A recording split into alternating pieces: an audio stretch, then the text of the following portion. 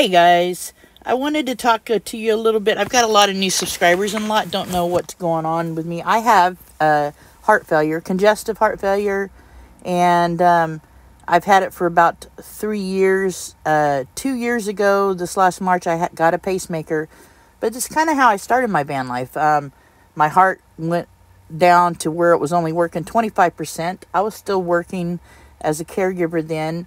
I was put in the hospital, sent home and um, wasn't able to work anymore.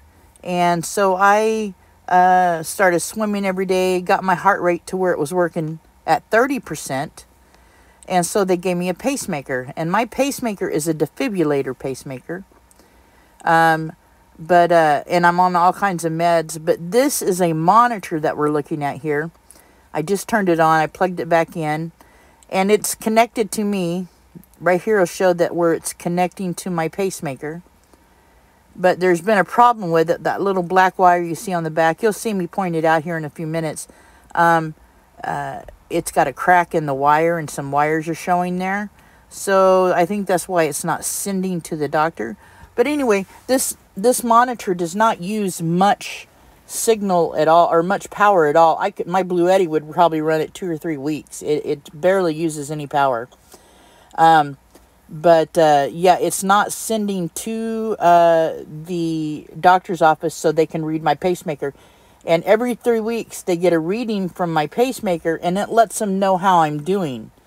And that's why it's all important now that I weigh myself every day and I take my blood pressure every day because this monitor picks it up.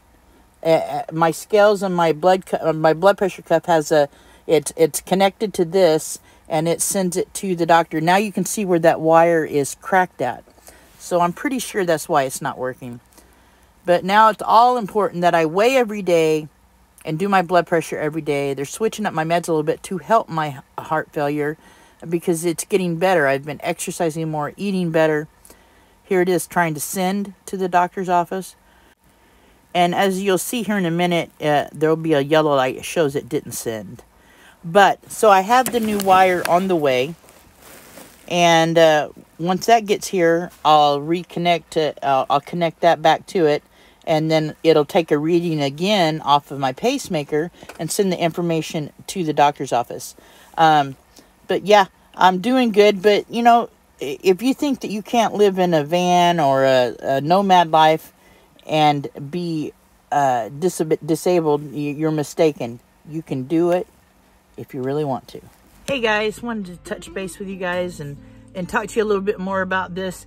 Yeah, so this is one of the main reasons I did start van life. Um, because my health was so bad and I wanted to have a chance to do things I really wanted to do before it was too late. And uh, I, have been lucky so far. Uh, you know, able to get my heart working to a 30% so I could get the pacemaker. And now I'm on the road to getting it to work a little better. Um, the left side of my heart does not work. And um, that's why I have the pacemaker. And it's really just a defibrillator. Um, if I did have a heart attack, it would kick it. Um, but losing weight and eating right is the key things to getting more healthy. Um, I, my diabetic numbers are in control now. They're under, they're like five two.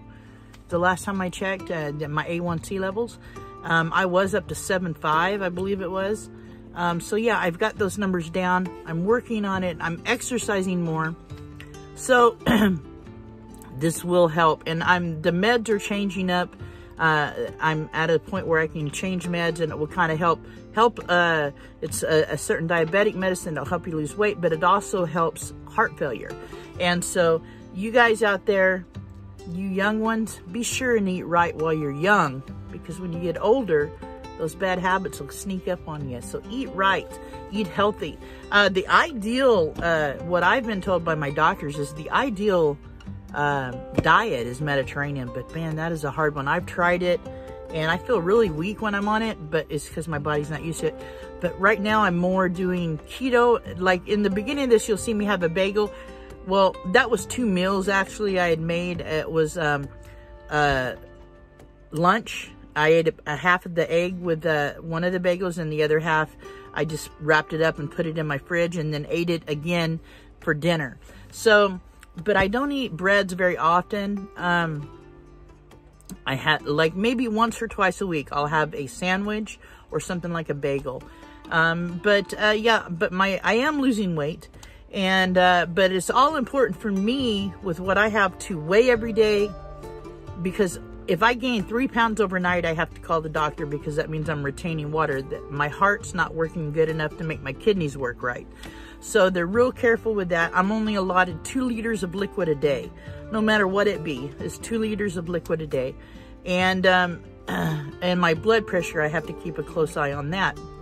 So um, I have to send those in uh, when when I take those in the morning. That pace mon pacemaker monitor picks up uh, the readings from the the blood pressure cuff and the scale. They all kind of connect together uh, via cellular and Bluetooth, and so it will send all those readings to the doctor so they can keep track of my weight every day. And but it only sends like once every two or three weeks, so it sends a whole data report. Um, but they told me they've added blood thinners to my uh, medications. Uh, when I was on the trip uh, up the coastline, I had a doctor's appointment online, and uh, my heart was in AFib at night when I was sleeping. Uh, one of the nights, not when I was on the trip, but before the trip, my, I was in AFib, 150 beats per minute. They said it stayed like that for 45 minutes. So they put me on blood thinners to make sure that I don't have a stroke because the, the blood will pool in your heart. If I'm explaining this right, this is how they explained it to me. The blood can pool in your heart when your heart's doing that on the AFib and it can cause a stroke. So I'm on blood thinners now. I feel like I'm doing good. I feel much better.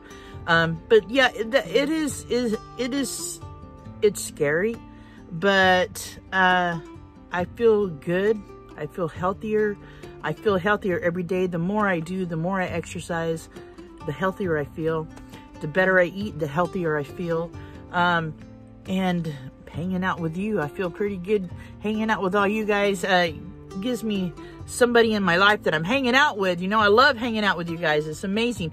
I have not been as happy as I am now in my lifetime uh, uh, as just, you know, I feel rich. Um, I, I, love my van and I love van life and and uh, I'm so glad I chose this lifestyle. Uh, I just feel better.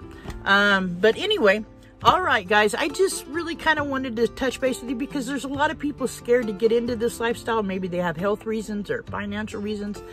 You know, sometimes you got to just take the leap and do it if you're really wanting to do it and I don't regret it for one minute. Um, I actually live healthier than I did before in sticks and bricks. Um, and that's kind of what this video is about. Uh, to catch up members that are, uh, subscribers that are new that don't know my health issues and, and don't know my story. So there's my story wrapped up in a nutshell for you guys. Um, all right, guys, take care of yourselves. Take care of each other. Peace out.